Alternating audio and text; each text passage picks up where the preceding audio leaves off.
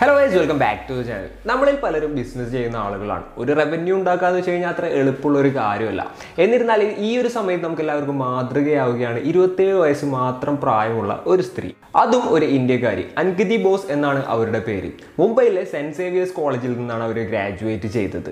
അതിനുശേഷം secure capital എന്ന് പറഞ്ഞിട്ടുള്ള ഒരു കമ്പനിയിലാണ് അവർ ജോലി ചെയ്തത്. ആ ജോലിക്കിടയിൽ തന്നെ സ്വന്തമായിട്ട് എന്തെങ്കിലും ഒരു കമ്പനി തുടങ്ങണം എന്നുള്ളൊരു ആശയം അവരുടെ മനസ്സിൽ ഉണ്ടായിരുന്നു എന്നുള്ളത് തന്നെയാണ്. അങ്ങനെ ഇരിക്കുകയാണ് ഗുവാഹാട്ടി ഐ ഐ പഠിച്ച സുഹൃത്തായിട്ടുള്ള ധ്രുവ് കപൂറുമായിട്ട് ഒരു കമ്പനി തുടങ്ങുന്നത്. സിലിംഗോ എന്നായിരുന്നു ആ ഒരു കമ്പനിയുടെ പേര്. സിലിംഗോ എന്നുള്ള ഒരു പേര് നിങ്ങൾ കേൾക്കാനുള്ള ചാൻസ് കുറവാണ്. എന്നിരുന്നാലും കുറേ പേര് കേട്ടിട്ടുണ്ടാവും. കാരണം എന്താണെന്ന് വെച്ച് കഴിഞ്ഞാൽ ഇന്ത്യയിൽ അത് അത്ര വലിയ കമ്പനി അല്ലാന്നുണ്ടെങ്കിൽ ഇന്ത്യയിൽ അതിന്റെ ഓപ്പറേഷൻസ് കാര്യങ്ങളൊന്നുമില്ല. എന്നിരുന്നാൽ ടെക് സപ്പോർട്ട് കാര്യങ്ങളൊക്കെ കൊടുക്കുന്നത് ഇന്ത്യയിൽ നിന്നാണ്. ഈ ഒരു കമ്പനി കമ്പനിയുടെ ഹെഡ് ക്വാർട്ടേഴ്സ് എന്ന് പറയുന്നത് സിംഗപ്പൂർ ബേസ്ഡ് ആണ്. ഈ ഒരു കമ്പനിയുടെ മാർക്കറ്റ് എന്ന് പറയുന്നത് സൗത്ത് ഈസ്റ്റ് ഏഷ്യ ആണ് നമ്മളുടെ ഇന്ത്യയിലത്തെ ഒരു കാര്യം നോക്കുകയാണെന്നുണ്ടെങ്കിൽ ആമസോൺ ഫ്ലിപ്കാർട്ട് പോലുള്ള ബിഗ് പ്ലെയേഴ്സ് ഉള്ള ഒരു സ്ഥലമാണ്. അപ്പോൾ അതിന്റെ ഇടയിൽ ഇതേപോലുള്ള ഒരു കമ്പനി പൊങ്ങി വരാന്ന് വെച്ച് കഴിഞ്ഞാൽ ഇത്തിരി ബുദ്ധിമുട്ടുള്ള ഒരു കാര്യം തന്നെയാണ്. ഈ ഒരു കമ്പനിയുടെ സ്റ്റാർട്ടിങ് എങ്ങനെയാണ്? ആ ഒരു ഐഡിയ എങ്ങനെയാണ് വന്നത് നോക്കുകയാണെന്നുണ്ടെങ്കിൽ ഒരു ദിവസം ബാങ്കോക്കിൽ ഒരു മാർക്കറ്റിലൂടെ അങ്കിതി നടന്നു പോവുകയായിരുന്നു. അങ്ങനെയുള്ള സമയത്ത് ഒരുപാട് നല്ല നല്ല നല്ല ഗുഡ്സ് കാര്യങ്ങളൊക്കെ ഇവർ കാണാൻ ഇടയായി. ചെറിയ ചെറിയ ഗ്രാമങ്ങളിൽ നിന്നുള്ള ആളുകൾ വളരെ റിമോട്ട് ആയിട്ടുള്ള സ്ഥലങ്ങളിൽ നിന്നുള്ള ആളുകൾ ഈ ഒരു മാർക്കറ്റിൽ വന്ന് അവരുടെ ഗുഡ്സ് വിൽക്കുന്നത് അവരുടെ ശ്രദ്ധയിൽപ്പെട്ടു. എന്നിരുന്നാൽ ഈ വിൽപ്പനയിൽ കുറേയേറെ പ്രശ്നങ്ങൾ കാര്യങ്ങളൊക്കെ ഉണ്ടായിരുന്നു. ആ പ്രശ്നങ്ങളിലാണ് അവർ ഒരു ഓപ്പർച്യൂണിറ്റി കണ്ടത്. കാരണം എന്താണെന്ന് വെച്ച് കഴിഞ്ഞിട്ടുണ്ടെങ്കിൽ ഇവർക്ക് ടെക് സപ്പോർട്ട് എന്ന് പറഞ്ഞിട്ടുള്ള ഒരു സംഭവം തീരെ ഉണ്ടായിരുന്നില്ല. അതായത് ടെക്നോളജിയുമായിട്ട് വലിയ ബന്ധം കാര്യങ്ങളൊന്നും ഈ ഒരു ബിസിനസ്സുകാർക്ക് ഉണ്ടായിരുന്നില്ല. രണ്ടാമത്തെ ഒരു കാര്യം പറയുകയാണെന്നുണ്ടെങ്കിൽ ഫൈനാൻഷ്യൽ സപ്പോർട്ട് വളരെ കുറവായിരുന്നു. മൂന്നാമത്തെ ഒരു കാര്യം പറയുകയാണെന്നുണ്ടെങ്കിൽ ഓർഗനൈസ്ഡ് ആയിട്ടുള്ള ഒരു സെല്ലിംഗ് ആയിരുന്നില്ല ഇവർ നടത്തിയിരുന്നത്. പിന്നെ അടുത്തൊരു കാര്യം പറയുകയാണെന്നുണ്ടെങ്കിൽ റൈറ്റ് ആയിട്ടുള്ള കസ്റ്റമേഴ്സിന്റെ അടുത്തോട്ട് ഇവരുടെ ഗുഡ്സ് എത്തിയിരുന്നില്ല എന്നുള്ളതാണ്. അപ്പോൾ ഈ പ്രോബ്ലംസ് കാര്യങ്ങളൊക്കെ റെക്ടിഫൈ ചെയ്ത് ഇത് സോൾവ് ചെയ്ത് കഴിഞ്ഞാൽ ഇവിടെ ഒരു ചാൻസ് ഉണ്ട്. അല്ലാന്നുണ്ടെങ്കിൽ ഇവിടെ ഒരു ഐഡിയ ഉണ്ട് എന്നുള്ളത് അവരുടെ മനസ്സിൽ ആ ഒരു സമയത്ത് കത്തുകയാണ് ഉണ്ടായത്. അങ്ങനെ ഇത്തരത്തിലുള്ള സെലേഴ്സിനെ ക്ലബ്ബ് ചെയ്യിപ്പിച്ചിട്ട് ഒരു പ്ലാറ്റ്ഫോമാണ് അവർ ഉണ്ടാക്കിയത്. അങ്ങനെ അവരുടെ കമ്പനി രണ്ടായിരത്തി പതിനാറിൽ നാല് പോയിന്റ് മൂന്ന് നാല് ലക്ഷം ഡോളറിന്റെ റവന്യൂ ആണ് ഉണ്ടാക്കിയത്. അത് രണ്ടായിരത്തി പതിനേഴ് ആയപ്പോഴത്തേനും വൺ പോയിന്റ് എയ്റ്റ് മില്യൺ ഡോളറോളം വന്നു എന്നുള്ളതാണ്. പിന്നീട് നമ്മൾ രണ്ടായിരത്തി പതിനെട്ടിലെ കണക്ക് നോക്കുകയാണെന്നുണ്ടെങ്കിൽ ഇരുപത്തൊന്ന് പോയിന്റ് ആറ് മില്യൺ ഡോളറിലോട്ടും അത് ഉയർന്നു. പിന്നീട് അങ്ങനെ ഉയർന്നു ഉയർന്നു വന്നു. അതിനോടൊപ്പം തന്നെ ഈ ഒരു കമ്പനിയുടെ valuation one billion dollar cross ചെയ്തു. അതായത് ഒരു യൂണിക്കോൺ സ്റ്റാർട്ടപ്പ് ആയിട്ട് അതിനെ കണക്കാക്കപ്പെട്ടു. അതേപോലെ തന്നെ മില്യൺ കണക്കിന് ഫണ്ടുകളാണ് ഇവരുടെ ഒരു കമ്പനിയിൽ ഇൻവെസ്റ്റ് ചെയ്യാനായിട്ട് ആളുകൾ ഇറക്കിയത്. അതായത് അത്തരത്തിൽ വളരെ പെട്ടെന്ന് തന്നെ അതായത് മൂന്ന് വർഷത്തിനുള്ളിൽ ഇത്തരത്തിലൊരു നിലയിലോട്ട് ആ ഒരു കമ്പനി എത്തി എന്ന് തന്നെ വേണം നമ്മൾ പറയാൻ. സിലിങ്കോ എന്ന് പറഞ്ഞു കഴിഞ്ഞാൽ ഇന്ന് ഇൻവെസ്റ്റേഴ്സിന് ഏറ്റവും പ്രിയമുള്ള ബ്രാൻഡുകളിൽ ഒന്നാണ്. എങ്ങനെയാണ് സിലിങ്കോ ഈ ഒരു അച്ചീവ്മെന്റ് നടത്തിയതെന്ന് നമ്മൾ നോക്കേണ്ട ഒരു കാര്യം തന്നെയാണ്.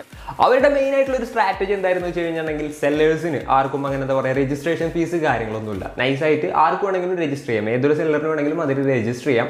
അതേപോലെ തന്നെ ഒരു ഐറ്റം ഷിപ്പ് ആയി കഴിഞ്ഞ് കഴിഞ്ഞാൽ അല്ലാന്നുണ്ടെങ്കിൽ ഒരു ഐറ്റം സെല്ല് ചെയ്ത് കഴിഞ്ഞാൽ അതിന്റെ ഒരു ടെൻ ടു ട്വന്റി പെർസെന്റേജ് ആണ് ഇവരുടെ കമ്മീഷൻ എന്ന് പറയുന്നത്. അതേപോലെ തന്നെ സിലിങ്കോടെ മീനിങ് എന്താണെന്ന് വെച്ച് കഴിഞ്ഞാൽ ഗിഫ്റ്റ് ഓഫ് ഗോഡ് എന്നുള്ളൊരു അർത്ഥമാണ്. അതായത് ദൈവത്തിന്റെ ഒരു ഗിഫ്റ്റ് എന്ന് പറയുന്ന പോലെ. അതേപോലെ തന്നെയാണ് ബാക്കി കച്ചവടക്കാർ ഈ ഒരു പ്ലാറ്റ്ഫോമിനെ കണ്ടതും. അത് തന്നെയായിരുന്നു അവരുടെ ഒരു വിജയം. നമ്മൾ നോക്കുകയാണെന്നുണ്ടെങ്കിൽ ഐഡിയാസ് കാര്യങ്ങളൊക്കെ എല്ലാവർക്കും ഉണ്ടാവും. ഇംപ്ലിമെന്റ് ചെയ്യുക എന്നുള്ളതാണ് ഏറ്റവും ബുദ്ധിമുട്ടുള്ള ഒരു കാര്യം. ഈ ഒരു സമയത്താണ് നമ്മൾ അങ്കിതി ബോസിനെ കണ്ടു പഠിക്കേണ്ടത്. ഞാനൊരു സ്ത്രീയാണ് അല്ലാന്നുണ്ടെങ്കിൽ എനിക്ക് ഏജ് ഇല്ല. അല്ലാന്നുണ്ടെങ്കിൽ ഒരുപാട് ഒരുപാട് കാര്യങ്ങൾ കൊണ്ട് തന്നെ നമ്മളുടെ ഐഡിയാസ് കുഴിച്ചു മൂടുന്ന ആളുകളാണെന്നുണ്ടെങ്കിൽ ജസ്റ്റ് ഇവരുടെ ഒരു സ്റ്റോറി നമ്മൾ എന്തായാലും അറിഞ്ഞിരിക്കേണ്ട ഒരു കാര്യം തന്നെയാണ്. അവരുടെ ആദ്യത്തെ ഒരു കമ്പനിയിലെ അനുഭവത്തിൽ നിന്ന് അവർ പറയുന്നത് എന്താണെന്ന് വെച്ച് കഴിഞ്ഞാൽ ഒരുപാട് സ്റ്റാർട്ടപ്സിനെ കുറിച്ച് ഇങ്ങനെ പഠിക്കാൻ അവിടെ നിന്ന് സാധിച്ചിരുന്നു എന്നുള്ളതാണ്. അപ്പോൾ ആ ഒരു ടൈമിൽ തന്നെ സ്വന്തമായിട്ട് എന്തെങ്കിലും ഒരു കമ്പനി തുടങ്ങണമെന്നും അത് വലിയൊരു നിലയിൽ എത്തിക്കണമെന്നും അവർ സ്വപ്നം കണ്ടിരുന്നു. ആ ഒരു സ്വപ്നമാണ് ആ ഒരു ചാൻസ് കിട്ടിയപ്പോൾ അവർ യാഥാർത്ഥ്യമാക്കി മാറ്റിയത്. ഇന്ന് നമ്മൾ നോക്കുകയാണെങ്കിൽ വേറെ ലെവലിലാക്കി തീർക്കാനായിട്ട് അവർക്ക് സാധിച്ചിട്ടുണ്ട്. നമുക്കെല്ലാവർക്കും പ്രോബ്ലംസ് ഉണ്ടാവും. ചിലപ്പോൾ എന്താ പറയുക ഒരുപാട് റെസ്ട്രിക്ഷൻസ് ഉണ്ടാവും. പൈസ ഇല്ലാത്തതിന്റെ സാലറി കുറവിന്റെ അല്ലാന്നുണ്ടെങ്കിൽ സ്ത്രീകളാണെന്നുണ്ടെങ്കിൽ ഞാൻ ഒരു സ്ത്രീയാണോ എന്നുള്ളൊരു ടെൻഷൻ കാര്യങ്ങൾ. അങ്ങനെ അങ്ങനെയുള്ള ഒരുപാട് അല്ലാന്നുണ്ടെങ്കിൽ ഏജ് എനിക്ക് ഏജ് കുറവാണ് അല്ലാന്നുണ്ടെങ്കിൽ എനിക്ക് ഏജ് കൂടുതലാണ്. ഒരുപാട് ഒരുപാട് ഒരുപാട് ടെൻഷൻസ് കാര്യങ്ങൾ നമ്മൾ ഒരു കാര്യം സ്റ്റാർട്ട് ചെയ്യുമ്പോൾ നമ്മളുടെ മനസ്സിലൂടെ മിന്നി മറഞ്ഞു പോകുന്നുള്ളതിൽ യാതൊരു സംശയമില്ല അതിനൊക്കെ ടാക്കിൾ ചെയ്ത് നമ്മളൊരു പോയിന്റിലോട്ട് എത്തുകയാണെന്നുണ്ടെങ്കിൽ സക്സസ് ഉണ്ടാവും എന്നുള്ളതാണ് ഈ സ്റ്റോറീസ് കാര്യങ്ങളൊക്കെ കാണുമ്പോൾ നമുക്ക് മനസ്സിലാക്കാൻ സാധിക്കുന്ന ഒരു കാര്യം. അതിനുശേഷം രണ്ടായിരത്തി പത്തൊമ്പതിലെ ഫോപ്സ് മാഗസിന്റെ അണ്ടർ തേർട്ടി ലിസ്റ്റിൽ അവർ ഉൾപ്പെടുകയാണ് ഉണ്ടായത്. ഗൈസ് നമ്മൾ ജസ്റ്റ് അങ്കിതി ബോസിന്റെ ബിസിനസ് മോഡൽ ഒന്ന് നോക്കുകയാണെന്നുണ്ടെങ്കിൽ ഏറെക്കുറെ ഒരു നാല് പോയിന്റ് ആണെങ്കിലും ആയിട്ട് പറയാനുള്ളത്. അതിൽ ഒന്നാമത്തെ പോയിന്റ് എന്താണെന്ന് വെച്ച് കഴിഞ്ഞിട്ടുണ്ടെങ്കിൽ ടെക്നോളജിയാണ് ടെക്നോളജി എന്ന് വെച്ച് കഴിഞ്ഞാൽ ഇന്നിപ്പോൾ മുക്കിലും മൂലയിലും ടെക്നോളജിയുമായിട്ട് ബന്ധപ്പെടാത്ത കടകളോ കാര്യങ്ങളൊന്നും ഇല്ല എന്ന് തന്നെ പറയാം. കാരണം എന്താണെന്ന് വെച്ച് കഴിഞ്ഞാൽ ഒരു പെട്ടിക്കടയിൽ പോയിട്ടുണ്ടെങ്കിൽ നമുക്ക് ജി പി വെച്ച് കഴിഞ്ഞിട്ട് പൈസ കൊടുക്കാൻ പറ്റും. അതായത് ഇപ്പോൾ ടെക്നോളജിയുമായിട്ട് മാറി നിൽക്കുകയാണെന്നുണ്ടെങ്കിൽ ഈ ഒരു കാലഘട്ടത്തിൽ ബിസിനസ് ചെയ്യാൻ അത്ര എളുപ്പമല്ലാത്തൊരു കാര്യമാണ്. അവിടെ അത് തന്നെയാണ് സംഭവിച്ചിരുന്നത്. അവർക്ക് ടെക്നോളജിയുമായിട്ട് അത്ര വലിയൊരു ബന്ധം കാര്യങ്ങളൊന്നും ഉണ്ടായിരുന്നില്ല. ആ ഒരു പ്രോബ്ലം ഐഡന്റിഫൈ ചെയ്തിട്ടാണ് അവർ ആദ്യം ആ ഒരു സംഭവം ഇംപ്ലിമെന്റ് ചെയ്തത്. അതേപോലെ തന്നെ ടെക്നോളജി ഹബ്ബ് എന്ന് പറയുന്നത് അതായത് അവരുടെ ഫുൾ ടെക് സപ്പോർട്ട് കൊടുക്കുന്നത് ബാംഗ്ലൂരിൽ നിന്നാണ്.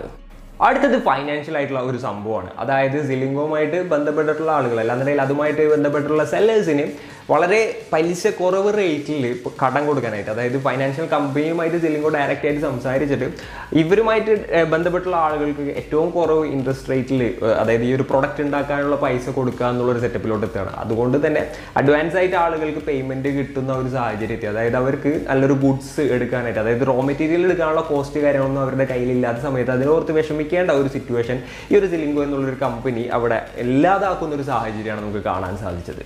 മൂന്നാമത്തെ ഒരു കാര്യം എന്താ വെച്ച് കഴിഞ്ഞാൽ സിലിങ്കോ നെറ്റ്വർക്ക് ആണ്. അതായത് ഇവരുടെ ഒരു നെറ്റ്വർക്ക് ത്രൂ ഈ ഒരു റോ മെറ്റീരിയൽസ് കാര്യങ്ങളൊക്കെ എങ്ങനെ പർച്ചേസ് ചെയ്യണം? എവിടെ നിന്ന് പർച്ചേസ് ചെയ്താൽ ഏറ്റവും ലോ കോസ്റ്റിന് കിട്ടുമെന്നുള്ളത് അതായത് അവർ വളരെ ലോക്കലായിട്ടുള്ള ആളുകളായിരുന്നു. അതായത് ചുറ്റുപാട് മാത്രമേ അവർക്ക് അറിയുന്നുണ്ടായിരുന്നുള്ളൂ. എന്നിരുന്നാൽ പല രാജ്യത്തു നിന്ന് ഇമ്പോർട്ട് ചെയ്തിട്ട് നല്ല വൃത്തിക്ക് നമ്മൾ നോക്കുകയാണെന്നുണ്ടെങ്കിൽ കുറേ കോസ്റ്റ് എഫക്റ്റീവായിട്ട് സാധനങ്ങൾ കിട്ടുമെന്നുള്ളൊരു കാര്യങ്ങളൊക്കെ ഇവർ പറഞ്ഞു കൊടുക്കുകയും അതിന്റെ ഒരു ഫലമായിട്ട് ഒരുപാട് ഒരുപാട് പുരോഗതി ഉണ്ടാക്കാൻ സാധിക്കുകയും ചെയ്തു എന്നുള്ളത് തന്നെയാണ്. അടുത്ത നമ്മൾ നോക്കുകയാണെന്നുണ്ടെങ്കിൽ സിലിംഗോടെ ലോക്കൽ സപ്പോർട്ട് ടീമാണ് അതായത് അവരുടെ എന്താ പറയുക ലാംഗ്വേജസിലുള്ള പ്രശ്നങ്ങൾ കാര്യങ്ങളൊക്കെ സോൾവ് ചെയ്ത് കൊടുക്കുക. അതേപോലെ തന്നെ കോൺട്രാക്റ്റിലുള്ള കാര്യങ്ങളൊക്കെ സോൾവ് ചെയ്ത് കൊടുക്കുക. അതേപോലെ തന്നെ എന്താ പറയുക അവരുടെ ബേസിക് ആയിട്ടുള്ള അതായത് സെല്ലേഴ്സിന്റെ ബേസിക് ആയിട്ടുള്ള ഒരുപാട് ഒരുപാട് കാര്യങ്ങൾ റെക്ടിഫൈ ചെയ്തിട്ട് അവരുടെ ഒരു പ്രോബ്ലം സോൾവിങ് ആയിട്ടുള്ള ഒരു കാര്യങ്ങളൊക്കെയാണ് ഈ ഒരു ലോക്കൽ സപ്പോർട്ട് ടീം കൊടുക്കുന്നത്. അതായത് ഇപ്പോൾ എന്താ പറയുക കൂടുതലായിട്ട് അഡ്വാൻസ്ഡ് ആയിട്ടുള്ള ട്രെയിനിങ് വേണ്ടവർക്ക് അത് കൊടുക്കുക. അതേപോലെ ഒരുപാട് ഒരുപാട് കാര്യങ്ങളും അവർ ചെയ്യുന്നുണ്ട്. അപ്പോൾ ഇതേപോലുള്ള ഒരുപാട് സ്ട്രാറ്റജീസ് കാര്യങ്ങളൊക്കെ യൂസ് ചെയ്തിട്ടാണ് സിലിംഗോ ഇന്ന് കാണുന്ന ഒരു ലെവലിലോട്ട് എത്തിയത്. അപ്പോൾ ശരിക്കും പറയുകയാണെന്നുണ്ടെങ്കിൽ ആംഗ്രി ബോസിന്റെ ഒരു സ്റ്റോറി നമുക്ക് എല്ലാവർക്കും ഒരു ഇൻസ്പിറേഷൻ തന്നെയാണ്. അതായത് ഇപ്പോൾ പ്രായമായിട്ടില്ല അല്ലാന്നുണ്ടെങ്കിൽ ഞാൻ ഒരു സ്ത്രീയാണ് അല്ലാന്നുണ്ടെങ്കിൽ ഒരുപാട് ഒരുപാട് പ്രശ്നങ്ങളുണ്ട് എന്നൊക്കെ പറഞ്ഞിട്ട് ഒന്ന് സ്റ്റാർട്ട് ചെയ്യാതിരിക്കുന്ന ആളുകൾക്ക് ഒരു പ്രചോദനം തന്നെയാണ് ഇവരുടെ ഒരു സ്റ്റോറി എന്ന് പറയുന്നത്. അപ്പോൾ എന്തൊക്കെയാണെന്നുണ്ടെങ്കിൽ നമുക്ക് എന്തെങ്കിലും ഐഡിയാസ് കാര്യങ്ങളൊക്കെ ഉണ്ടെന്നുണ്ടെങ്കിൽ സ്റ്റാർട്ട് ചെയ്യുക എന്നുള്ളതാണ് മെയിൻ ആയിട്ടുള്ള ഒരു കാര്യം. അല്ലാതെ ഐഡിയ ഉണ്ടായിട്ട് മാത്രം കാര്യമില്ല. അത് ഇംപ്ലിമെന്റ് ചെയ്യുമ്പോഴാണ് കാര്യങ്ങൾ വർക്കൗട്ട് ആവുന്നത്. ഇപ്പോൾ നിങ്ങൾക്കൊരു യൂട്യൂബ് ചാനൽ തുടങ്ങാൻ ഒരു ആഗ്രഹം ഉണ്ടെന്നുണ്ടെങ്കിൽ ചുമ്മാ ആഗ്രഹിച്ചിരുന്നുകൊണ്ട് കാര്യമില്ല. ചുമ്മാ ഒരു വീഡിയോ ഷൂട്ട് ചെയ്ത് ഇടുമ്പോഴാണ് അതൊരു സംഭവം. അല്ലാതെ നിങ്ങൾക്ക് ഒരു സംഭവം എഴുതണം ഒരു കവിത എഴുതണമെന്നുണ്ടെങ്കിൽ മനസ്സിൽ കൊണ്ടുവന്നിട്ട് കാര്യമില്ല. ആ ഒരു സംഭവം എഴുതി കഴിഞ്ഞാലാണ് ഈ ഒരു കവിത കവിതയായിട്ട് വരുന്നത്. അതേപോലെ തന്നെയാണ് ഒരു ബിസിനസ്സിന്റെ കാര്യം. തുടങ്ങണം തുടങ്ങണം എന്ന് വിചാരിച്ചിട്ട് കാര്യമില്ല. തുടങ്ങാതെ ഒന്നും നടക്കില്ല. അപ്പോൾ ഇന്നത്തെ വീഡിയോയിൽ ഇത്രയൊക്കെ തന്നെ പറയാനുള്ളൂ. ഈ ഒരു വീഡിയോ നിങ്ങൾക്ക് എല്ലാവർക്കും ഇഷ്ടപ്പെട്ടെന്ന് വിചാരിക്കുന്നു. ഈ വീഡിയോ ഇഷ്ടപ്പെട്ട് കഴിഞ്ഞിട്ടുണ്ടെങ്കിൽ ഒരു ലൈക്ക് ചെയ്യുക. ഇഷ്ടപ്പെട്ടില്ല എന്നുണ്ടെങ്കിൽ നിങ്ങൾക്ക് ഡിസ്ലൈക്ക് ചെയ്യാവുന്നതാണ്. അതേപോലെ തന്നെ എന്നെ ഇൻസ്റ്റാഗ്രാമിൽ കോൺടാക്ട് ചെയ്യണമെന്നുണ്ടെങ്കിൽ ഇൻസ്റ്റാഗ്രാമിൽ മെസ്സേജ് ചെയ്യാം. Instagram I D R S D N R S Raseen Raz ആണ് and it's me Raz signing off stay peaceful guys stay safe stay home